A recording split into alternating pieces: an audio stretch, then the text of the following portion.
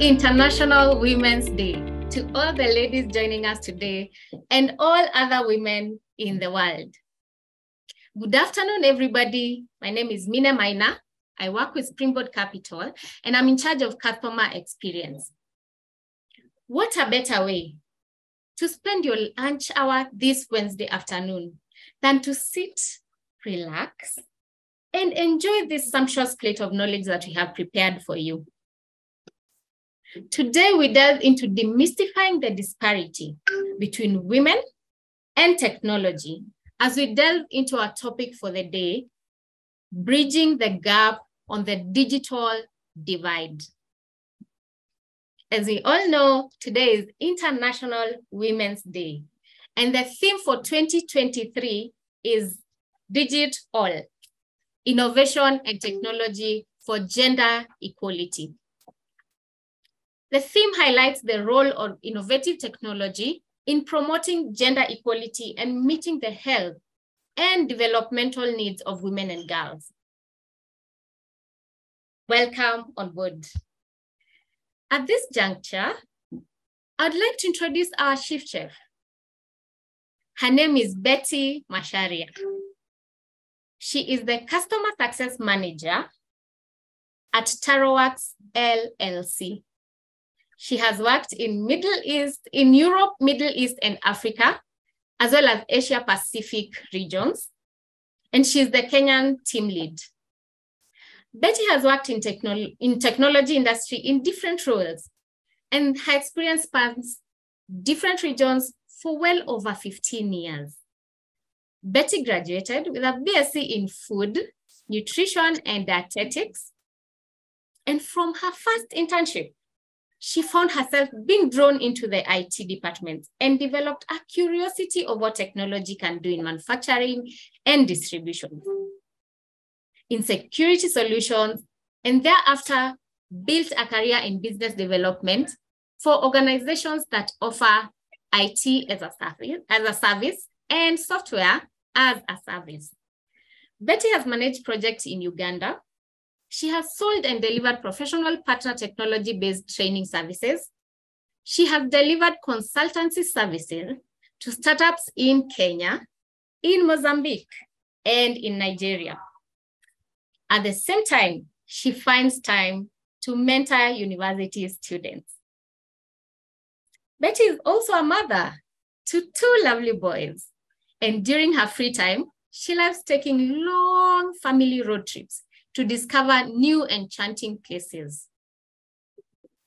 Betty Macharia, would you kindly give us your opening statements? Thank you very much, Mina. That was a lovely introduction. Um, hello, everybody. Happy lunch hour. And uh, today is middle of the week. Uh, glad to uh, be here on this um, live. And thank you very much, Springboard Capital uh, and Mine for the lovely introduction. Thank you very much. Yeah, today we are tackling um, women in technology. We want to see, um, first of all, to acknowledge, is there a digital gap? Is there a gap? Does it exist? So acknowledging is always the first step. And then from that is tackling, is there a problem?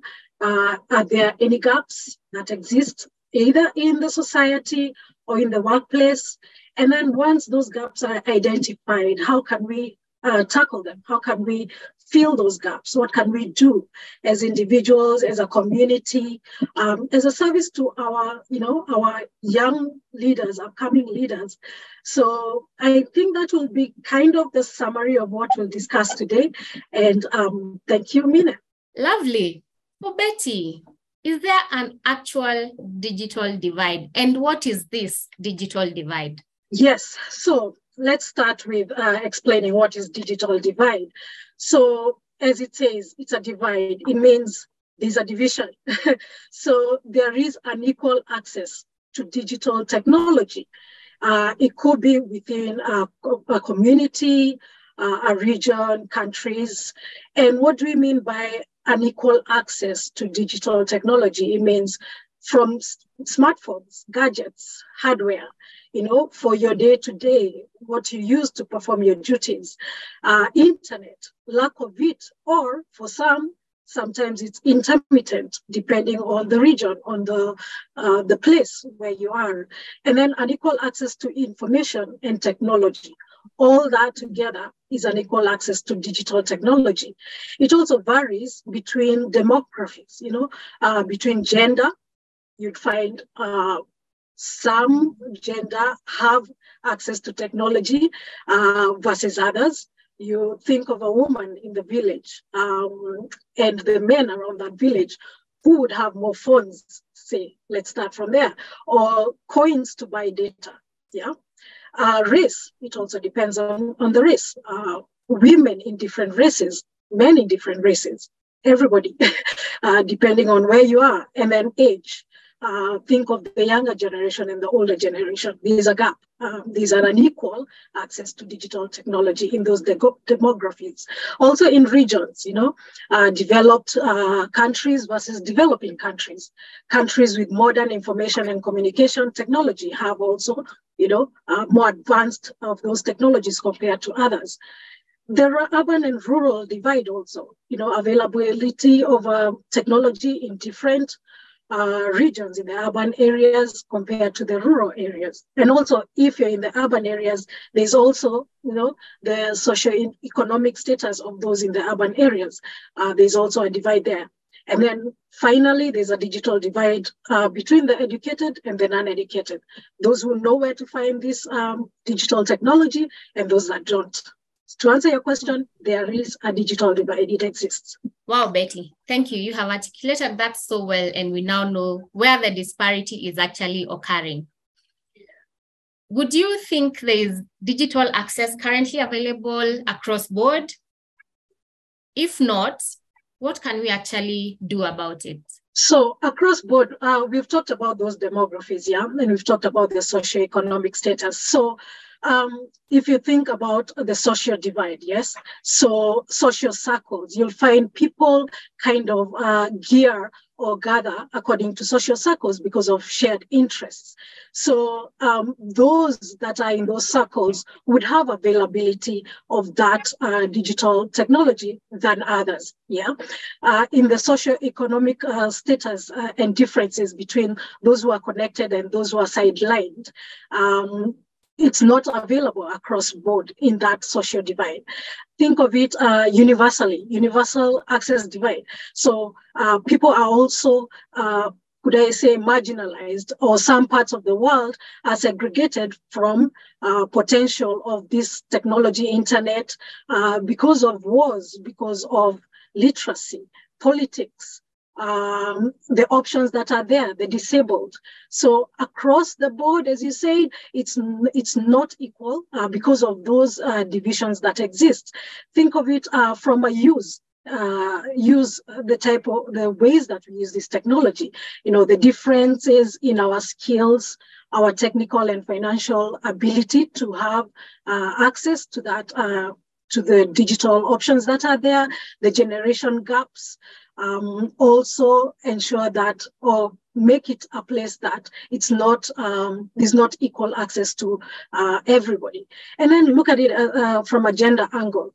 So there's a gender gap. Yes say in kenya mobile phones are now maybe we could call it commonplace but um, is there uh, connectivity that's rolling out equally uh, throughout uh, between the rural areas, women uh, and men? So even if we as Kenya are seeing uh, mobile phones being used more, M-Pesa, uh, we'd find that it's not rolling out equally between uh, the different, uh, the, the male, female gender.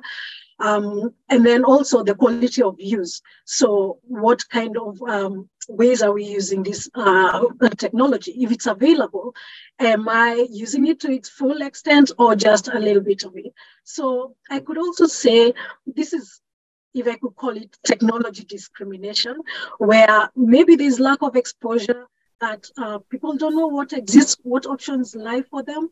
Uh, let's think of it from that gender angle. Um, in terms of technology, uh, do women know what exists? Do they know the opportunities uh, that exist? Uh, are they exposed to them? So we could be saying that it's not available, but maybe it's just that exposure that they're not exposed to it. And then on the workplace, um, is technology a need or is it uh, seen as a working tool? Yeah. So look at it from organization perspective. Uh, different organizations will use technology differently.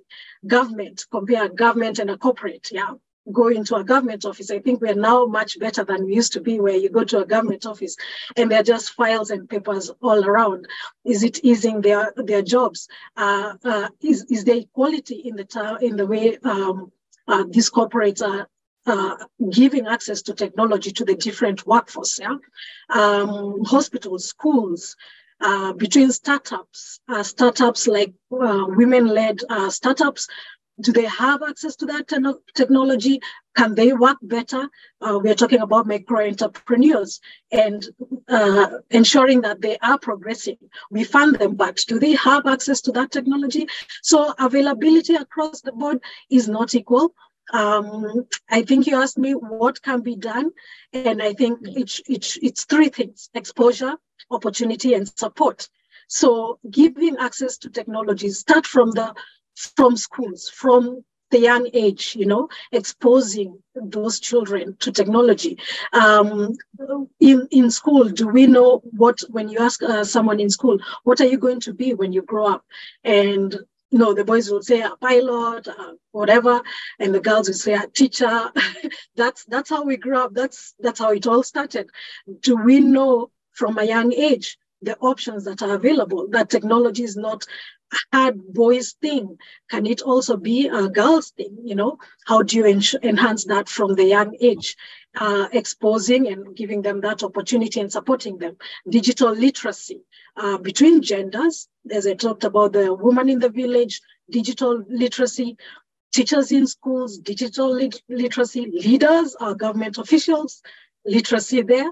Uh, uh, and then information on the different technology options that exist and career options that exist. So I think um, that there's a divide. It's not available across board, and that's how we could maybe support. Awesome. We have seen that there are gaps. That's a fact. Yes. What are what is the impact of these identified gaps and the barriers that you have actually put across? Once we have identified them, what can we do to bridge this gap? So uh, the impact leads to one word, inequality. It's inequality across board. So those who are exposed to resources have, um, you know, they are exposed to more uh, information. They are more informed than others. They get more opportunities because they are exposed to those resources. They know where to get those opportunities. Um, inequality, again, that's another impact in income levels. Uh, there, there definitely exists economic inequality. Um, we talked about that micro enterprise. Say she's she's starting or this is a women's group and they want to sell something, but then they don't have the technology to monitor those sales to see what, you know, how they're performing. Uh, it's just maybe guesswork or written down on paper. So compare that one with another micro enterprise that has access to that uh, technology of course, uh, the two will be performing very differently. Um, for those who have been exposed to these resources and have gotten careers or have seen opportunities, like uh, we are seeing many young Kenyans doing uh, the gig economy, you know, they're having gigs, working late at night, uh, working on reports, working on um, proposals that they have been given uh, to work on by a company, say in the US. Compare that person with someone else who is stomaching day to day and knocking on doors. There's a, a same uh, youth who's working at night on different uh, proposals, being paid for that uh, per day or per hour, and then during the day they're stomaching. Or the one who's stomaching full time, but then um, you know has nothing, is begging. So you can see the disparities that uh, that exist with those who are exposed and those who are not exposed, and then restric- restrictions. So social exclusion from projects from a community level. Uh, if there are communities that have um, that have exposed maybe the women in these communities into um, technology. Uh, they have options uh, down at that level. Uh, they are inclusive in terms of gender on projects. Those will have more women included in social projects, um, politics, uh, careers, investment opportunities compared to others. Also, uh, um, you know, rights, knowing our rights as a as a population. You know, uh, if if we don't know our rights, then we are bullied, we are taken advantage of. So uh, the girl, the girl who's not exposed out there to uh, technology, she doesn't know her rights. She thinks anybody could bully her or say anything uh, to her, or she doesn't know the right that she could get some of these jobs compared to her brother or her cousins. Yeah, and then lack of representation, either politically uh, at a community level and in the industry. So the impact is if we are not represented, if the woman is not represented uh, politically in the community level and in the industry, then the opportunities will never come up uh, for them. Um, what can be done? Number one, uh, infrastructure. Uh, investment, investing in our infrastructure, making sure there's uh, available internet from the grassroots all the way, uh, connectivity, interconnectivity, Electricity, let's go there. Yes, we are always complaining about that one corporation. Um, if it is affordable, if it is present, then you could, uh, you know, you could have more options into um, uh, maybe going online or going to cyber cafes, you know, just that infrastructure. And then promoting technology as a tool to development um, in communities, you know, uh, it's not a luxury. It could be a tool to developing uh, communities having that civil education and that exposure to the communities. Um, what are the options that lie uh, from the school level? We talked about the schools and letting um, girls know that they can go into technology. So uh, from a school level, that exposure, but also for the ones that have gone to school and are maybe trying to start up a business, digital literacy, uh, exposing them to that. So technology is a need and not a luxury right now, I think. Um, if everything was made uh, affordable, it is a tool that could bring economic value to more. And then affordability of everything from the hardware we talked about, the software we talked about, the electricity itself um, would also maybe encourage more uh, more um, you know equality amongst everybody and have a greater impact to more people. Awesome. You have pointed as simple things as electricity. Just that. Imagine. If we could just bridge that gap then we would be i'm sure we would be somewhere so, Betty, who are these key players in this digital gender divide that we're experiencing? And what do you think they can do or act differently to ensure this digital gap is not there? So, the key players, um, uh, we talked, let's talk from the grassroots uh, level uh, to ensure gender equity.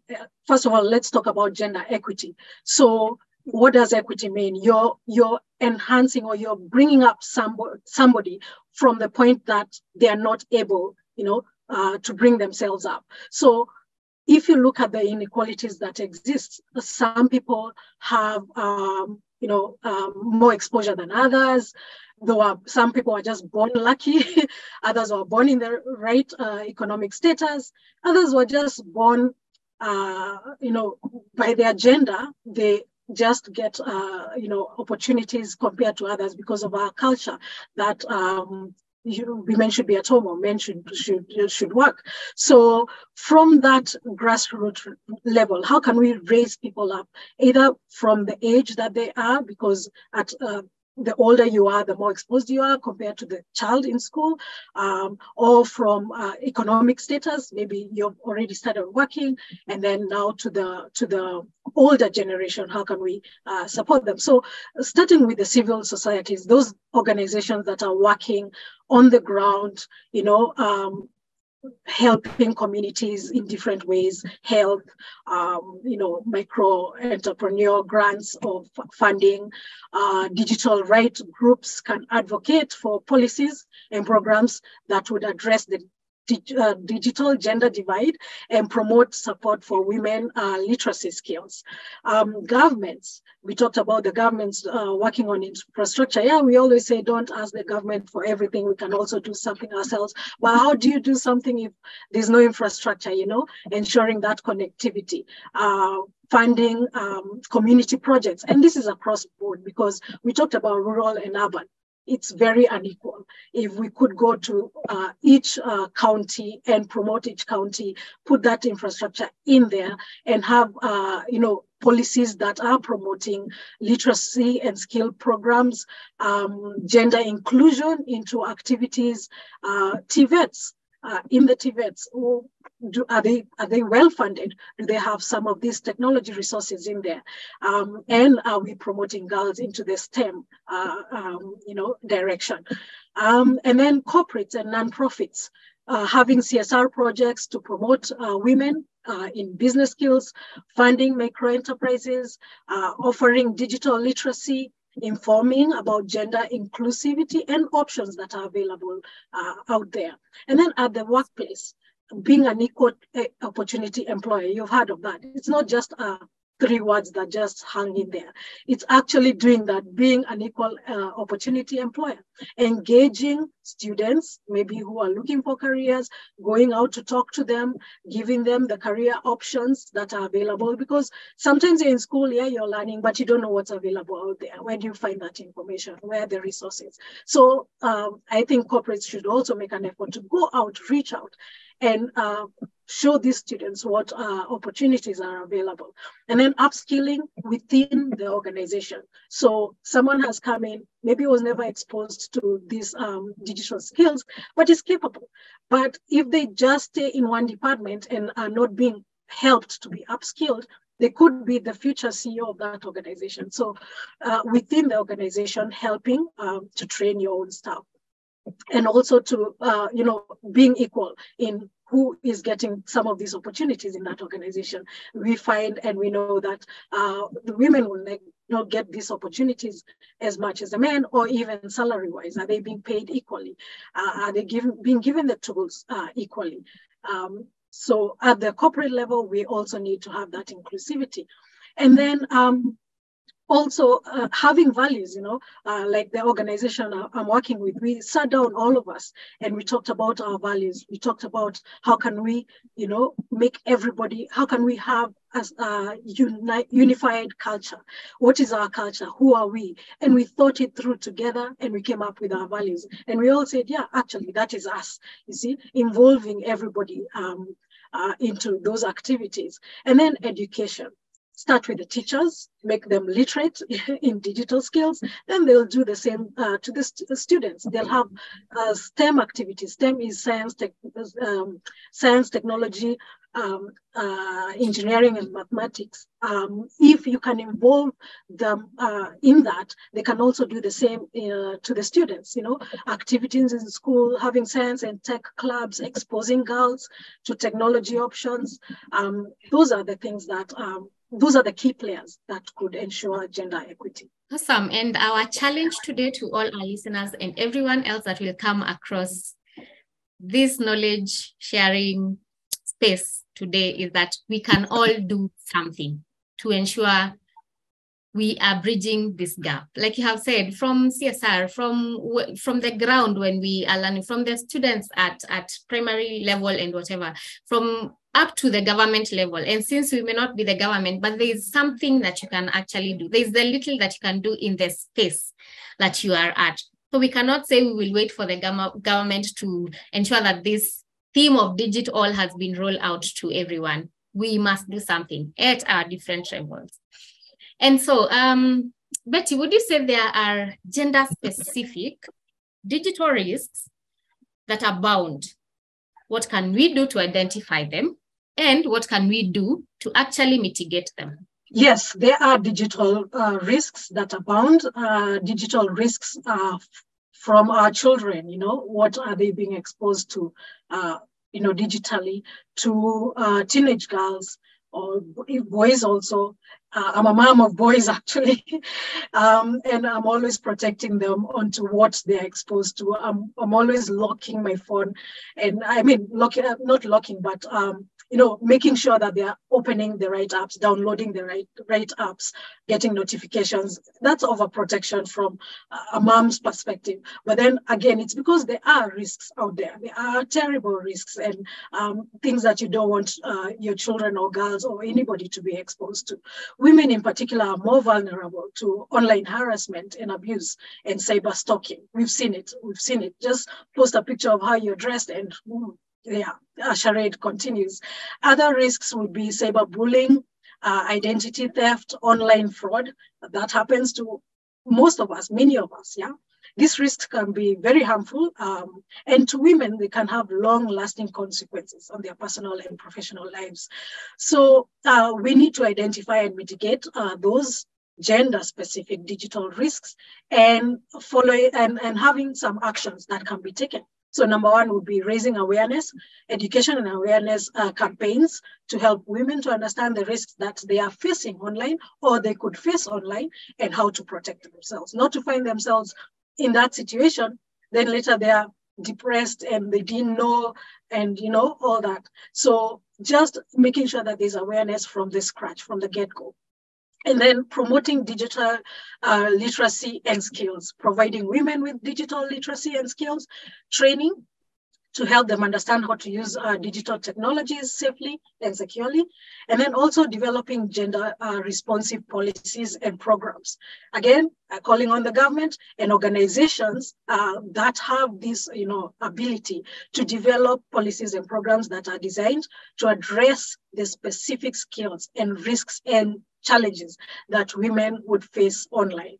Uh, including harassment and abuse, and then providing support uh, to victims, you know, counseling for those who have gone through it. Yeah, you could be exposed, you could have that awareness, uh, you could know what would happen to you, and then finally it happens, and whoa, you know, you go into depression. So supporting uh, them, uh, counseling within the organization, also, you know, ensuring that everybody's protected and you're, you know, keeping an eye on everybody. And if you notice somebody is maybe facing some form of online uh, or digital based um, abuse, protecting them and offering them that support. So um, and then also having a culture, all of us having a culture, all of us, you know, having a culture of respect.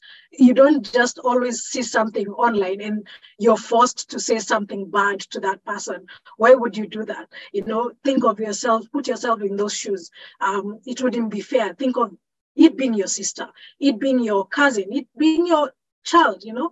Uh, so if you're bullying somebody else, also think of, of, of the person that you're bullying and put yourselves in those shoes. So having that culture of respect and online civility, being civil, uh, would help. Awesome. We have several questions on the chat and uh, on the comments, but I'll ask the ones that you have not touched on on your talk. So one is from Dennis. He asks, how can we measure the impact of efforts to bridge the digital divide and what metrics should we use to evaluate progress? Well, that's a very broad question because uh, impact is it at community level? Is it at school level? Uh, is it impact of maybe um, projects that are happening, women projects? So if you think of it uh, in that general level, then think of the way we do um, uh, what do we call it? Um, account the count of total people in the country. And sometimes we are checking what are your economic status do you own a boat etc uh, but if we could do the same thing and do a general assessment what are the micro enterprises what uh, tools do they have how many are they in kenya how many are women led how many are progressing what's making those that are doing better than others uh, uh, function better. So it's having that kind of census or that kind of research, which can be done, it's possible. Uh, and that way would see um, those that are impacted by technology versus those that, that are not. At a school level, uh, where are our kids going? Which schools are doing better than others? Is it because they have technology? Is it not because of technology. So just having that research would definitely come up with metrics, would definitely come up with percentages, and uh, would give us a broad picture of what's on the ground, what's happening, and why are some doing better than others, and how can we help those that are not. I hope I've answered that question. Okay. If not, we will, you will tell us how to reach us so we can come back to you and ask you the questions. So you're getting comments that it is a very timely discussion. It is a great topic. So thank you so much for taking us through demystifying the, the, the gap we are actually experiencing. So Betty, how can we reach you? Well, um, I'm on LinkedIn uh, as Betty uh, Betty Macharia. You can just search for me. Um, I am. Uh, my email is b e t s macharia at gmail.com. B e t s macharia at gmail.com. And I'm also on any social media platform as Betts Match. That is B E T T S Macharia Match short form of Macharia. so yeah, at BetsMatch, you can reach me on any social media platform. Great. To our audience today, we will share the link to joining our WhatsApp broadcast. Then we can share Betty's contact and how you can reach to her in case you need any further clarification on this. Betty, we'd like to hear your closing remark for this topic. Yeah, uh, thank you. It's been a lot of talking, speed talk, uh, but I hope uh, I didn't rush too much and it was clear for everybody. Um, my three words are the ones I said uh, when you asked me one of the questions exposure, exposure from the bottom up, or even the top down. Think of your mom, exposure, um, opportunity, making sure there are opportunities again across board and support support support support. Let us all make an effort to you know talk to as an individual to our girl relatives uh, and anyone that we know and tell them what opportunities lie especially us who are in technology um, and also as corporates as governments as everybody as a whole. Great. We have been given a take home. That is homework for us. We must look at the exposure the opportunity and the support, the little that you can do at the space that you are at with the resources that you have. And we all can do something. And that is our lunch and our dessert for today.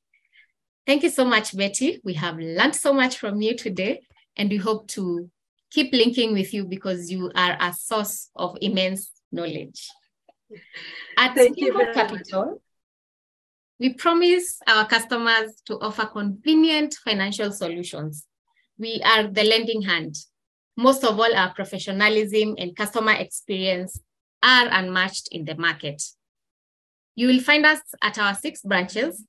We have one at Kagen House in town on first floor. Our head office is at CPA Center on third floor. And we have a branch at Thika, Sour House on first floor. We also have our satellite branches in Rongai, Meru, and Keroka.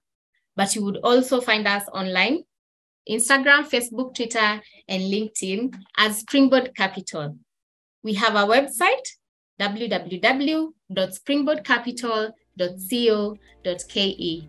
It was a pleasure hosting you today, and thank you very much for tuning in. See you next time.